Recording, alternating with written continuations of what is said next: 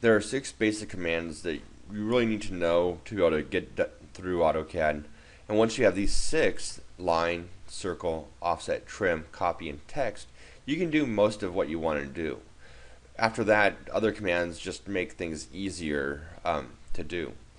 Also, use how to use O-snaps, the object snaps, and tracking. These all kind of help you work better within AutoCAD. Oh, I didn't put on the list, but erase is there too. So erase is a real easy one because you just pick what you want and you press the delete key and it erases it.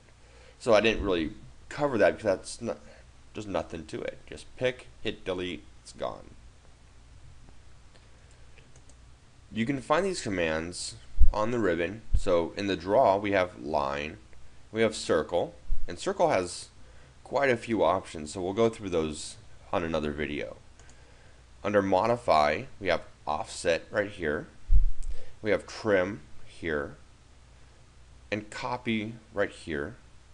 And then under annotation, we have our text here. And we have two different types of text. We have multi-line text, which is for like a paragraph of text and it has a full text editor where you can do different fonts within that, which usually we don't want to do, but you can set different sizes within that text box, different justifications, line spacing, all that.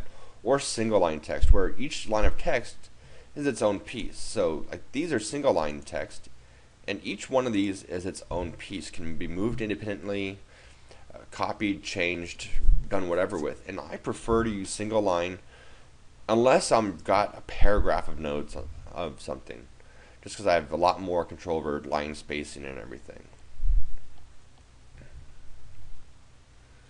The O-snaps and tracking really help you work with your drawing. So the O-snaps is this button down here. If I right click on it, I can see the different O-snaps. I'll go to settings and just look at them all. These are the ones I like to have turned on. I like to have endpoint, midpoint, center, node, which is a point, intersection, and extension. Those are the O snaps that I like to have turned on. And so when I'm drawing, I can snap to the endpoint of a line, the midpoint of a line, the center of a circle, and you can see the little green things are coming up. Though that's for the tracking. But I don't have like the quadrant. So if I wanted to start a line right here at the quadrant of the circle, what I can use is use my tracking. Going to go over the midpoint, or over the center. Now I get this little green line, that's my tracking line. I'm going to bring that out to the intersection. So that's finding the intersection of where that the center would hit that line. I can go there. And now I can draw from that quadrant. So I can draw over to that endpoint. Let's say I wanted to come up tangent to the circle now. I don't have that one turned on. So if I hold shift and I right click, now I have all of them again. So I'm just going to go and pick tangent. And now I can just pick kind of somewhere between here and here. As long as I have the, the green icon for my OSNAP showing up, I can click and it's going to go right to it. Same thing over here. Even though I'm way down below that endpoint, because I have the endpoint selected, it would go right to it. If I hit tab, it'll tab through the different OSNAPs I have available. So maybe I want the midpoint. I can click without even moving the mouse just by hitting tab a couple times. I can also use the tracking to find points in space. So if I want to draw a circle right in the middle of this rectangle, I could draw a line corner to corner, circle in, put it in like that.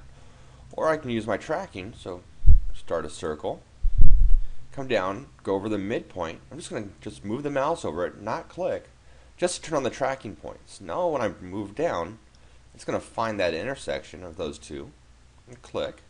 Now I can draw my circle. Another way I could have done that, since this one is nice and easy, is I could shift right click, say midway between two points, and then pick opposite corners. So in this case, that would work.